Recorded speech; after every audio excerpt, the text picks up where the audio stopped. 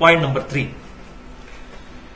कि एक खानदान के एक फर्द पर कुर्बानी है, या सबने ही कुर्बानी करनी है? यह भी आजकल बड़ा क्रिटिकल इशू है। ये सारों ने कुर्बानी करनी है। एक खानदान में जितने बंदे हैं, और सारे अमीर हैं तो क्या सारे ही करेंगे? तो बेहतर तो यही है, सारे ही करें। जितना मीठा डालेंगे, उतना ही बेहतर है। आहरत के लिए सेफ़ करें इसको, इबादत। लेकिन दीन की तरफ़ से ऑब्लिगेशन है कि एक खानदान की तरफ़ से एक कुर्बानी होगी। एक खानदान, एक फैमिली अब फैमिली ये नहीं है कि पाँच भाई एक घर में शादीशुदा रह रहे हैं तो ये एक फैमिली है, नहीं। एक शादीशुदा बंदा और उसके बच्चे, ये एक फैमिली है। एक घर में अगर पाँच भाई हैं तो ये पाँच फैमिलीज़ है। अलग अलग अपनी कुर्बानी देंगे। ये नहीं है, नहीं जी, हम तो अब्बा जी को तनख्वाह देते हैं अब्बा जी ने कुर्बानी कर दी, सबकी तरफ़ से होगी। नहीं। बाकी खर्चे लादा लादा है।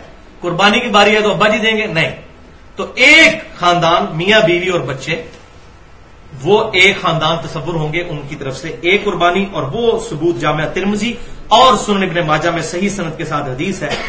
अता बिन यसार ताबी कहते हैं कि मैंने सईदुना अबू अयूब अंसारी, जो नबी सल्लल्लाहु अलैहि वसल्लम के मेजबान थे, उनसे पूछा कि आप सल्लल्लाहु अलैहि के जमाने मुबारक में आप लोग कुर्बानी किस तरह दिया करते थे? तो उन्होंने कहा कि आप सल्लल्लाहु अलैहि वसल्लम के मुबारक जमाने में हम में से हर शख्स एक खानदान की तरफ़ से एक ही बकरी कुर्बान किया करता था। और वो उसके और उसके घर वालों की तरफ़ से तस्वुर होती थी।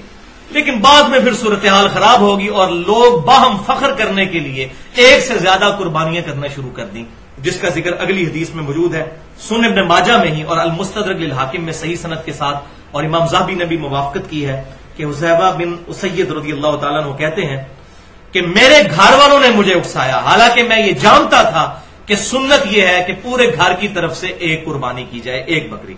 लेकिन मेरे घर वाले मुझे उकसाते हैं कि मैं ज़्यादा कुर्बान करूँ, ताकि लोगों में फखरिया तौर पर यह बात। यह साहबा के जमाने में यह काम शुरू हो गया क्योंकि उम्मत का फितना तो माल है ना।